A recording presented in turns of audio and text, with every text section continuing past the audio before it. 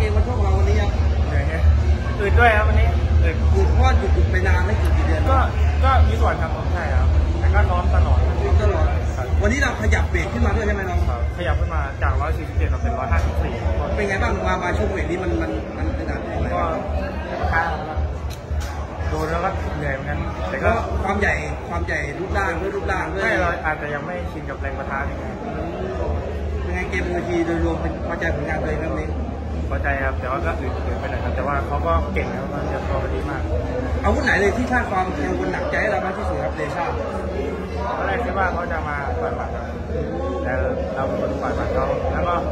เราไม่ค่อยออกหมัดแล้วก็โลบล็อกโลบล็อกครับเขาพลาดพลาดเขาก็ก็สสู้องทุกลูกเหมือนกันนะวันนี้นะครับแล้วเรามั่นใจตั้งแต่ยกไหนครับว่าเราน่าจะเป็นฝ่ายได้รับการชูมือวันนี้ก็ยกสองครับว่าเตะเขายุบครับแต่เขาเรามั่นใจยกสองได้ยก ก่อนเปิดตัวยกสามคะแนนออกมาวันนั้นเราตกใจอะไรไหมอะคะแนนสูสีเท่ากันเลย เหมือนกับยกสามออกมาชิงดำเลยยกสามไม่ไม่ไม่ไม่ไม่สนใจครับก็น่าจะป็นความมันครับความรุนอีกก่อนก่อนไปตัวยกที่สามนี่พี่เล้งที่มุมว่าไงบ้างทั้งก็ไม่ไม่ต่อยนะแล้วก็เด็กครับแผไม่นไม่ต่อยไม่ต่อยนะเดินสู้เลยเดินเตะเดินเตะมันไหมวันนี้น้องมันครับในขยับเบรกขึ้นมานี่เป็นไงบ้าง และไฟต์ต่อไปน่ะเราเราเราจะชกในเวทไหนก็ยกไม่เวทนี่ครับก็ได้เป็นมวยรอบถ้าเป็นไม่รอบกับแดเนียลเป็นไงน้องที่ที่มีข่าวหนาหูเลยช่วงก่อนหน้านี้ ก็เก่งครับเขายังเหลือเราเยอะครับแต่เราก็ต้องพัฒนาครับ พัฒนาเพื่อไปให้ถึงเขาแล้วก็พยายามสร้างประสบการณ์มีมีโอกาสเป็นไปได้มากน้อยแค่ไหนครับที่จะพัฒนาแดเนียลก็มันอยู่ที่เราครับว่าเราจะพัฒนาไปได้ถึง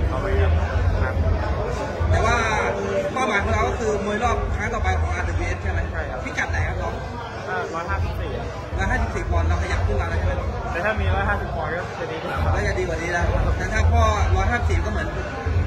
ใหญ่ๆไปหน่อยนะน้องนะแรงปะทะแรงอะไรมันก็เสียเปรียบคู่ต่อสู้เลยน้องแล้วก็ใช้เวลาครับใช้หลายไฟต์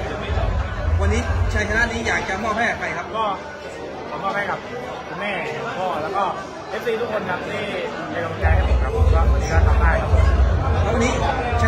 นะสวยๆแบบนี้เจนหนึ่งอัดฉีดไหมน้อง ก็น่าจะมีครับน่าจะมีแน่นอนเลยตลอดคเจนหผนึ่งนะเพราะว่าส่วนมากจะมีให้ทุกไฟต์ครับแต่แกไม่ค่อยชอบออกเลยอะน้องพูดอะไรกับแฟนมวยทั่วประเทศที่ติดตามเชียร์เราวันนี้หนะครับ ก็ขอบคุณ